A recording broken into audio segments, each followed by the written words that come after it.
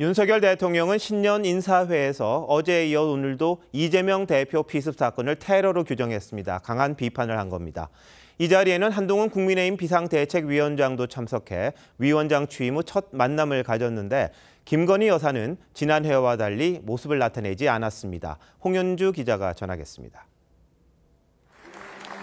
오부 요인을 비롯한 국가 주요 인사 200여 명이 모인 신년 인사회에서 윤석열 대통령은 이재명 대표가 자유민주주의의 적인 테러를 당했다고 말했습니다. 같은 마음으로 단호하게 대응해야 된다고 생각합니다.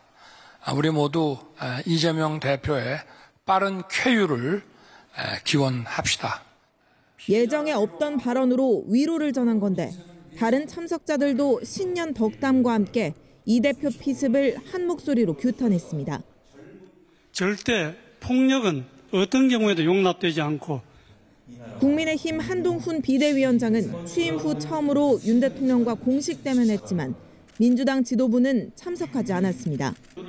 김건희 특검법에 대한 대통령실의 거부권 방침에 불참을 검토해오다 이 대표 피습 여파까지 겹치면서 무산된 겁니다. 지난해 인사회 땐 참석했던 김건희 여사는 지난 연말 성탄 예배에 불참한 데 이어 오늘도 모습을 드러내지 않았습니다. 대통령실은 어려운 경제 여건을 감안해 행사를 간소하게 치렀다고 했습니다. 위를 기회로